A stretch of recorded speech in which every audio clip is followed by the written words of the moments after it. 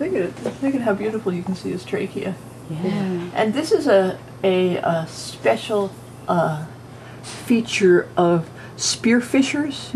So the way the spine is structured, that this will hold like that, and it enables them to extend their neck really, really quickly.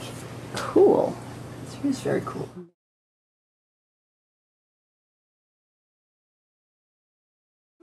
Cool things about herons that um, people don't re- always realize is when you see them standing in the reeds, one of the great things is you think they might be looking at fish in front of them, but they're actually standing as straight and tall as they are, being as still as they are, so the fish don't see them in the reeds, but they're actually looking straight underneath them. Oh. And if you look at this view from the bottom of his head. Oh, that's cool. you see how both eyes, you can, you can actually see under his chin. So it'd be like you and I looking down um, and being able to see our own chin, essentially.